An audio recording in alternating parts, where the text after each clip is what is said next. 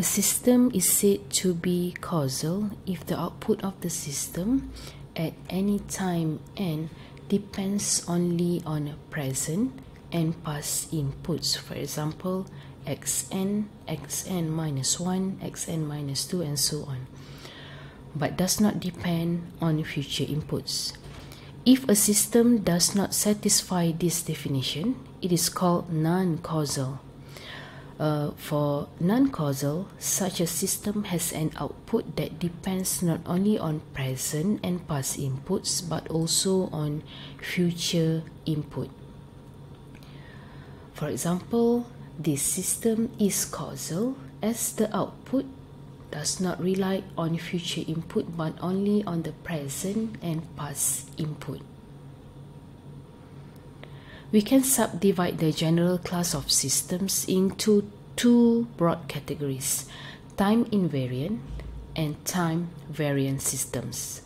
A system is called time invariant if its input output characteristic do not change with time while time in uh, while time variant system is its input output characteristics change with time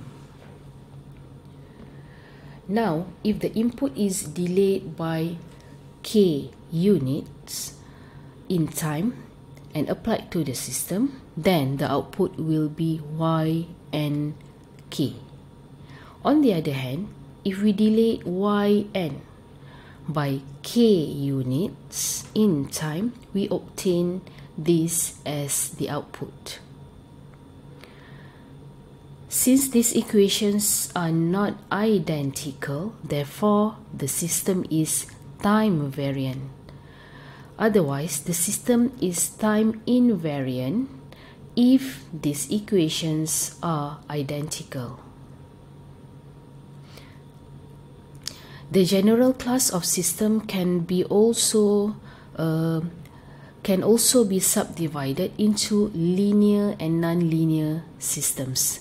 A linear system is one that satisfies the superposition principle.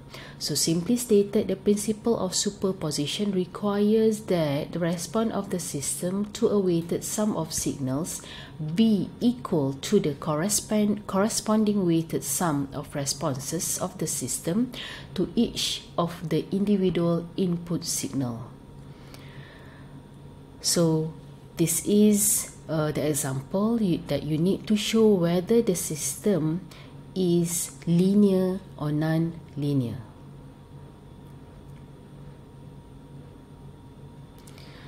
So for two input sequence x n, x1 n and x2 n, the corresponding outputs are y1 n and y2 n. A linear combination of the two input sequence results in the output y3 which is this one.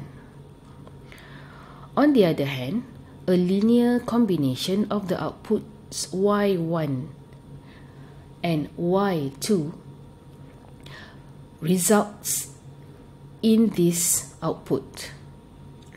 Okay based on this one. Since the blue equation y3n which is this one.